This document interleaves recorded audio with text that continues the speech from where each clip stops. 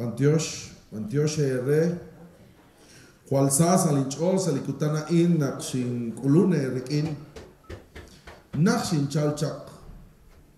Shinkulun, to Guatemala. Eplinkomon, Ahmaya, Ahkachi. Ngeshkamchak, Salincholehichuk R. Utnakapaz, Naksali, Angel, chirishlikatin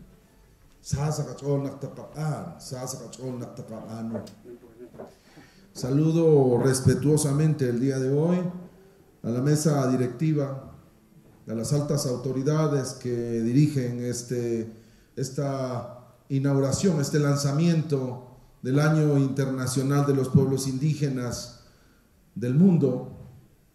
Saludo a los hermanos y hermanas presentes acá de las comunidades y de los pueblos del Estado Plurinacional de Bolivia. Saludo respetuosamente a la comunidad internacional presente y que hace parte de ese ejercicio de búsqueda de una convivencia nueva y de transformaciones importantes para el mundo y para cada uno de nuestros países. Pero sobre todo saludo hoy al espíritu de nuestros ancestros, a los mártires, de cientos de pueblos que regaron con su sangre estas tierras y muchas otras tierras, incluyendo las mías, por un futuro mejor, porque hoy estuviéramos aquí. El día, el día y el año internacional de los pueblos indígenas es un acto de dignidad. Los pueblos indígenas somos sobrevivientes. Así que quiero agradecer y felicitar al pueblo de Bolivia y a su presidente, el excelentísimo señor Evo Morales Aima, por este esfuerzo de tener un momento en la historia de la humanidad para pensar y trabajar por los idiomas de nuestros ancestros. En América Latina, en donde habitamos más de 800 pueblos indígenas, al menos la quinta parte ha perdido su lengua materna. Más de 200 idiomas son hablados por menos de 10.000 personas y una gran cantidad están en peligro de desaparecer. Incluso algunos idiomas indígenas con un número muy importante de hablantes se consideran en proceso moderado de reemplazo por idiomas no indígenas. Tenemos en América Latina un total aproximado de 648 idiomas en el 2011 la UNICEF editó un atlas sociolingüístico de América Latina y el Caribe, donde establece que de las 420 lenguas en la región un 20% se encuentra en peligro de extinción. Ese es todo un reto de trabajo, dar una situación diferente a esta estadística. Como ha dicho el señor presidente y como se ha mencionado en esta tribuna, la lengua es el alma de una cultura. Es el ADN de nuestros pueblos. Estudios recientes han dicho que un idioma se construye en más de 1200 años y desaparece con un genocidio. Las lenguas de los pueblos indígenas han sido los medios para la transmisión de los conocimientos tradicionales de generación en generación transmiten la memoria, los modos únicos de pensamiento, significados y expresiones que nuestros pueblos guardan, los conocimientos fundamentales para la alimentación, la salud, la vivienda y son sin duda alguna base del futuro de nuestros pueblos. Cuando una lengua muere, se extingue con ella un sostén de las culturas de los territorios indígenas. Cada toponimia, cada sitio sagrado, cada oración, cada plegaria, cada recurso reúne un saber, un conocer heredado de los abuelas y los abuelos de cómo aprovechar y convivir con la naturaleza. Por ello, la desaparición forzosa de nuestras lenguas también impacta en las prácticas de conservación y en el cambio climático.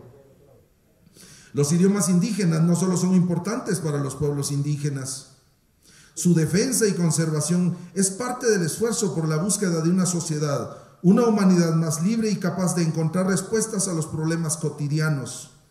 Con la desaparición de una lengua, de un idioma, todas y todos perdemos la posibilidad de tener conocimientos nuevos, de encontrar una forma alternativa para los problemas de la humanidad.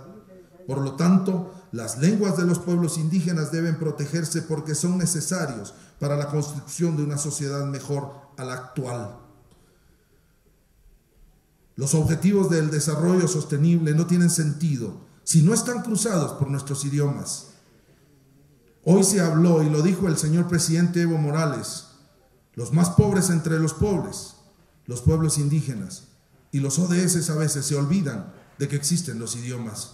Este es un llamado de atención a que los esfuerzos financieros, los esfuerzos materiales de todos los estados, de toda la comunidad internacional, tienen que cruzar la recuperación, el desarrollo y el fortalecimiento de los idiomas indígenas.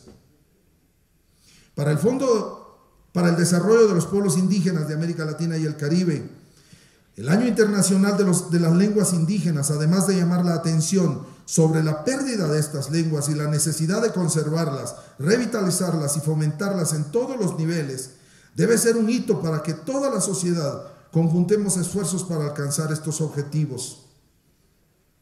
Debemos realizar un exhaustivo análisis a través de herramientas técnicas sólidas que permitan conocer el estado de la diversidad lingüística con especial atención de aquellas lenguas en peligro de desaparición y con necesidad de ser protegidas. El año debe culminar con la elaboración de un mapa digital completo y accesible a los principales datos.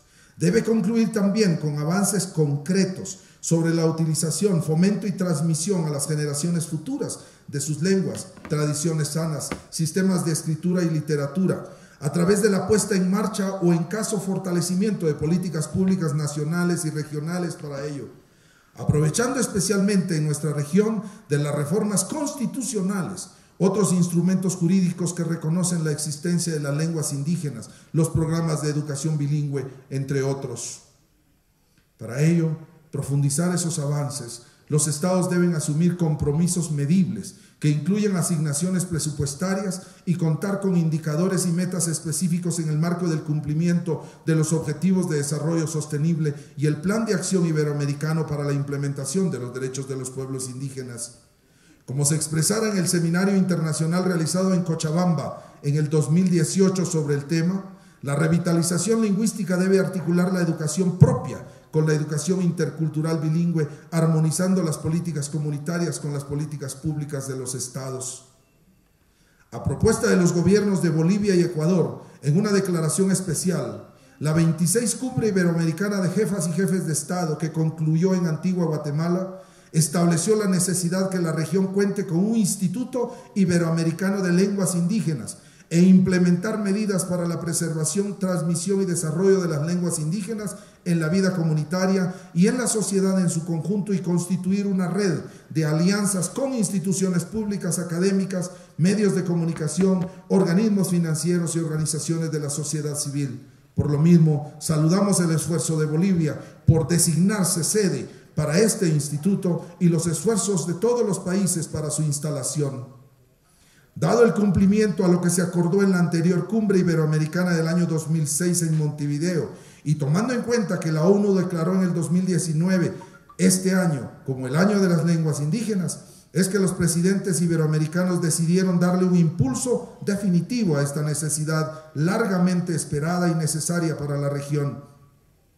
Encomendaron por ello a la Organización de Estados Iberoamericanos para la Ciencia y la Cultura y al Fondo para el Desarrollo de los Pueblos Indígenas de América Latina y el Caribe y en coordinación con la Secretaría Iberoamericana, CEGIB, elaborar una propuesta para su creación y presentación el año próximo. Desde la FILAC, desde el Fondo para el Desarrollo de los Pueblos Indígenas de América Latina y el Caribe, desplegaremos nuestros máximos esfuerzos para desarrollar acciones que apoyen el cumplimiento de los propósitos del Año Internacional de las Lenguas y aprovecharemos nuestra posición de observador permanente ante la Asamblea General de Naciones Unidas para impulsar, en conjunto con el resto de Estados miembros de este FILAC, el decenio internacional de las lenguas indígenas del mundo. Junto con ello, trabajaremos en documentar la institucionalidad que América Latina tiene para gestionar la lengua indígena en cada uno de los países. Haremos un mapeo para conocer las estrategias de otros actores para revitalizar las lenguas indígenas, los medios de comunicación, los movimientos de escritores, el cine, la televisión. Documentaremos y publicaremos estrategias de revitalización de lenguas indígenas a partir de lo decidido en Cochabamba. Y documentaremos las iniciativas de formación de maestros en educación bilingüe intercultural. Gracias hermanas, gracias hermanos de Bolivia. Gracias al señor presidente por este esfuerzo y este espacio de oportunidad. Con permiso.